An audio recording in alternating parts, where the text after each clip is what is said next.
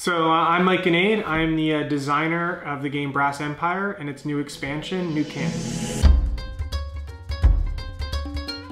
The expansion uh, is all about introducing five specific heroes for each of the corporate factions uh, and telling a story as you play the game. So it's a campaign that you play through. Every game that you play progresses the story of your characters. All five characters have a different story that you'll play throughout the campaign. Even if you play as one character all the way through with a friend, you could there's then three other characters that you haven't even experienced their story.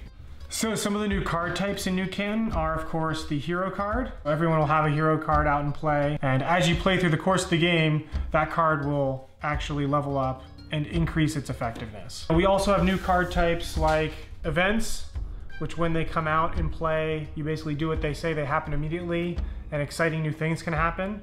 We have a new ability called Dash, which lets them take an action as soon as they're mobilized and played. Gadgets uh, have a different back than other cards, and they're one-time use instant cards that can be sort of played at any time. Another ability that employees have is an ability called Synergy, and synergy means that if you play a card of the same color on that same turn, you will activate its ability. I think I've written like almost 30 pages of story for this game, which is something I've never seen in a card game before. So we want you to, to play through this campaign revealing these cards and getting excited about all the new card types that you're unlocking, the things that are happening in the world, so that you're excited to come back and play again and again.